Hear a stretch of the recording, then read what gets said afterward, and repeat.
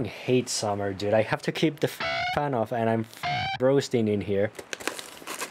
Okay, cool. So the first stuff, lemon oil, which because of the bridge and the wood of my guitar, this is gonna come in very handy. What else do I get? Microfiber cloth, fret polisher. I bought the Music Nomad one. Can you focus on it? There you go. It has to be at the same distance that I am. I just clipped my microphone doing that. and the most important part, finally. Yeah, there you go. I just bought 10 to 46. For those of you that don't know, I regularly play in either E standard or in E flat. I do not mind using 10 to 52s though, even though I don't usually drop my guitar. It's something I can recommend trying. It can be harder to bend the 6th string, so if you do that a lot, maybe you will not like 10 to 52s that much, but it's also not that bad. You get used to it. The more you know for those of you that didn't. Also, I bought a 4 pack because it's just to have the strings lying around whenever I need them. So string winder and also cutter. The last extra thing I bought was a string wrapper. I don't particularly like that rose design that much, but then again, it was the cheapest. My guitar does have the thing a lot of the times where you like just play a note and like immediately mute it, and then it proceeds to have that like high-pitched clank sound, so this should help with that. By the way, before I forget that, now that I'll be able to set up my guitar after so long, the things I want to do are three. The first two is that I'm finally making Archetype Rabea and Archetype Petrucci videos. My strings are pretty goddamn old at this point and I feel like it wouldn't be fair to the plugins if I used a not very well set up guitar. And the other one because a lot of people usually ask me, you know, throughout the entire channel what guitar I am using. But for those of you that don't know, it's a Diamond Guitars Bolero STE Elite Black. Elite Black is just a name for the color. Bolero I think is their way of calling it a Les Paul. And yeah, I have no idea what STE stands for by the way. and before I actually do the setup, what I want to tell you is that I'm gonna be reviewing my own guitar that I bought with my own money. I've been playing this guitar for about six years it should be now maybe even more than that i don't quite remember. So long time player of this guitar and this guitar only by the way. I don't have any other guitars that i play. Not because i don't want to but because i can't afford it. So yeah if you've been interested in this guitar and have also thought about buying it then do consider waiting a little bit because i do want to do a review for my own guitar. Hopefully before christmas So I'm also gonna take the chance to ask you, what are the things that you always want to see in a guitar review? What are the things you want to know about this guitar? You know, you already know how it sounds. Not sure if I'm gonna do the plugin videos or the review first, but in either case, yeah, let me know your thoughts down below. I also do have no idea if this guitar is out of stock a lot, but yeah, at the very least, you're gonna be informed about this guitar and if you want to consider it and also pursue it, or you might wanna look elsewhere. But enough of this, let's get into setting up my guitar fucking hate summer, dude. Uh, you just gotta start off with some summer hating.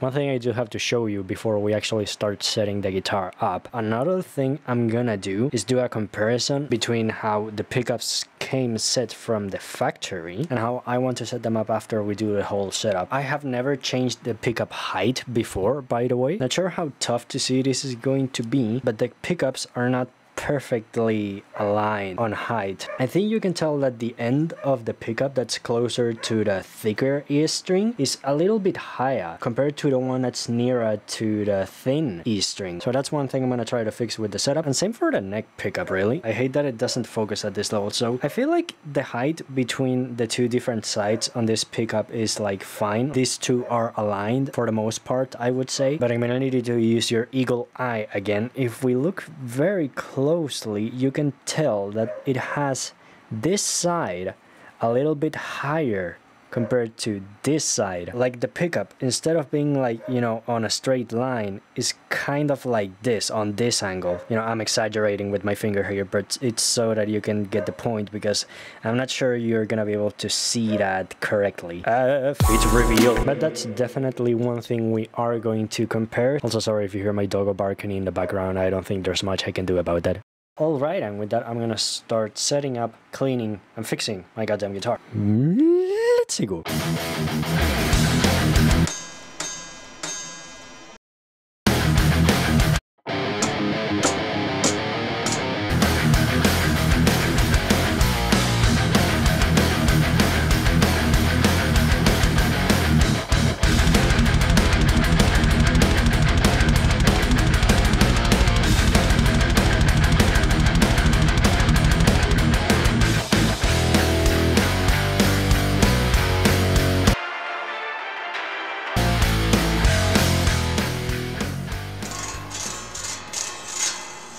Okay, so we're back in actual playing position and I'm tuned to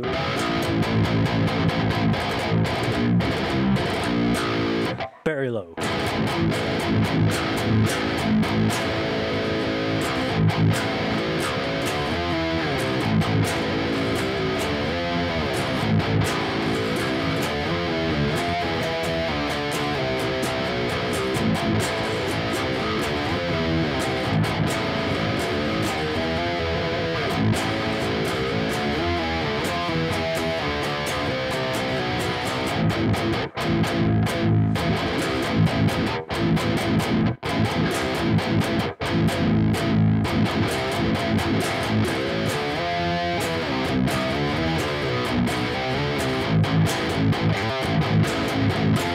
Okay, I just realized my goddamn microphone level was way too fucking low, so sorry for that. First things first, after we've done all of that, is to actually tune ourselves to the tuning you want your guitar in. As for me, that's gonna be E flat.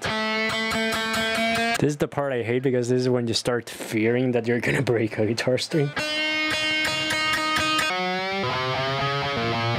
Also, this is the part where your guitar is gonna start getting out of tune so fucking much. So make sure you go back and, you know, retune your guitar because th this is the annoying part of setting up the guitar yourself. Unless you're a Chad and use an EverTune bridge, no matter how fucking ugly it looks. Then when you get all the strings to the tuning, tune them again because they're gonna be out of tune.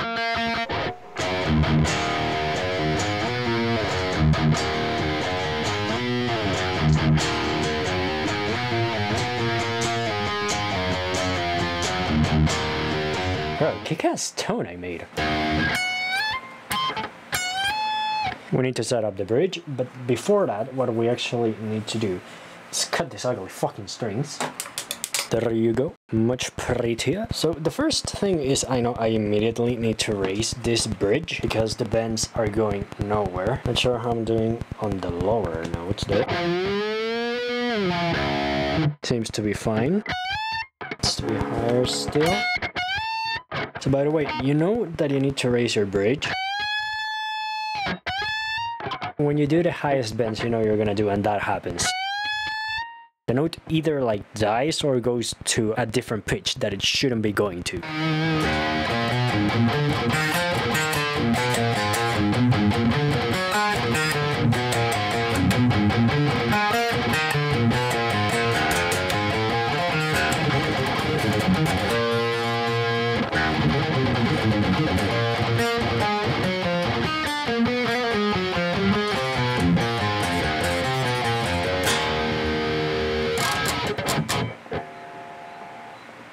Okay, so I'm actually gonna raise the bridge on the lower string as well because I kind of like the feeling of it ringing out instead of you actually, you know, feeling so goddamn close to the string. I don't like that.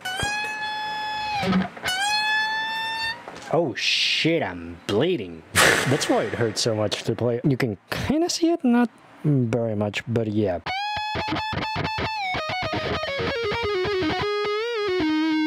So that's like my test for the bridge. If it can do that fucking bend on battery, you know, that fucking bend that Kirk does, then you're good to go and you don't need to keep putting the bridge higher.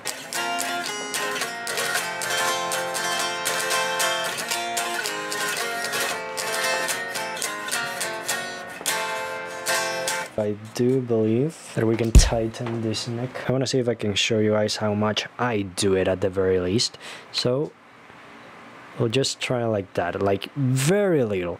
You don't really need to do like big adjustments like definitely don't overdo it. Now this is an adjustment that is gonna take some time for your guitar to like settle into. So do the adjustment play a little bit. If you still feel like it's horrifyingly not enough still to put it in a more exaggerated way then you can definitely tighten it or loosen it a bit more. But you usually don't need to do that unless your guitar is horrifyingly badly set up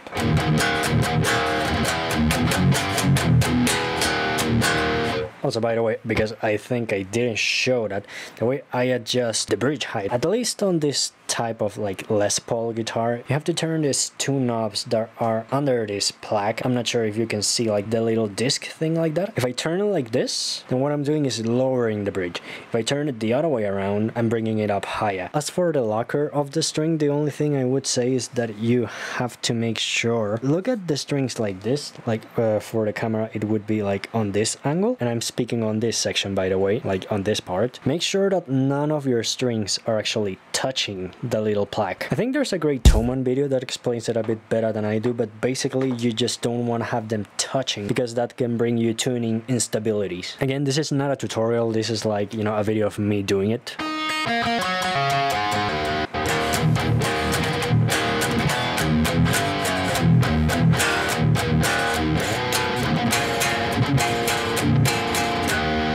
Take care of your guitar people. This is so much more comfortable to play than it was before. Okay the last thing i have to check before we adjust the pickup height is intonation. Basically this is one of the easiest ones you can check but it's also one that you should do last. To see that we're intonated but what we're basically gonna do is First, tune your guitar perfectly, just play it open, and after that we're gonna play on the 12th fret of the same string. And as you can see there, I'm actually going a little sharp on the string, which means I have to pull this little guy a little bit back. But sadly, I'm not gonna do that in that video. And again, this is not really a tutorial on how to set up your guitar, so you might wanna go and look for a more specific tutorial tailored to, you know, intonation, if that's what you wanna do. The reason why I'm not gonna do it now is because, as I told you about the truss rod, you need to let your guitar adjust. So I'm actually gonna check that tomorrow and see how my adjustments that I've made today adjust throughout an entire day. And then after I get the truss rod, the bridge height and all that stuff right, only then I'm actually gonna adjust the intonation. And that's what you should do too. You don't need to wait a full day, by the way. The only reason I'm doing that is because it's 2.30 a.m. and I, you know, I kind of want to go to bed. But yeah, you honestly really only need to wait like a few hours. But yeah, that'd be the last part. What we're gonna get into now is finally the pickup height comparison. What I'm gonna do is record both a rhythm riff on the bridge pickup, and then I'm also gonna do a clean riff only on the neck pickup. Now this is not gonna be a, like a very ridiculously in-depth comparison, but I just wanna compare how this guitar got to me. Like again, this is the first time I'm gonna adjust pickup height on my guitar like ever, but as you saw in the clips that I showed you earlier, it's not perfect here. So I want to see how it compares, you know, using the default, you know, out of factory pickup height that I got, which I don't think it's that great, or it doesn't look like it. It could end up being that it sounds better the way that it is right now, but we'll see. So here's the comparison for you.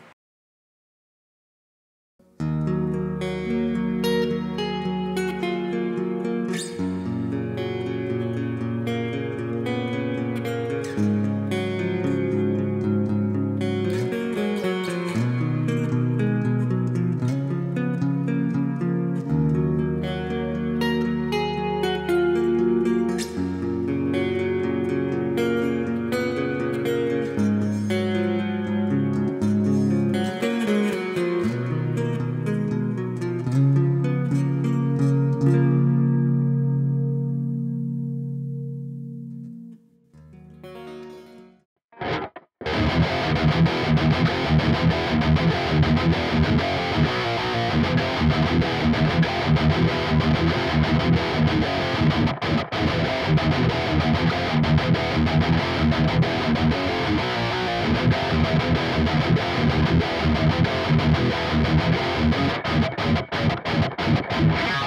Well, there you go, that's been it. Oh yeah, actually I forgot one thing, which was this dude, the string wrapper. I think it's gonna make that much of a difference. If you've seen people on the internet using these, basically we put them on this part, like literally wrapped around the strings. If you ever played your guitar and you get like a clangy sound when you like like, you know, you just pick it on, you get like a. This is what we use these things for when we do that. Like so, and we just keep it there.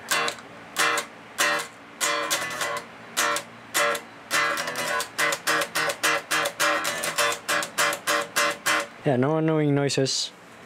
I like it. If I could ever get like a custom model and put like a Pokemon in here, like I don't know, like an Eevee dude or like a Gengar, if you've ever seen that smug Gengar face, bro, I would so fucking much love to have one here, like just displaying it on full there. Also, this somewhat hides the fact that I like to keep my access to the truss rod open because whenever temperatures change too much, you might need to adjust your truss rod again, although it's not ideal, but if you have to do it, you know, you have to. So with this, you know, I kind of hide the ugly part of this part, excepting that one hole, you can see that it's for one of the uh, screws. I don't like having that tape there because the one for this guitar is very annoying. It has three screws, two of them are like literally in the way of the strings. So like you, you, like have to push the strings to the side and i really fucking dislike that.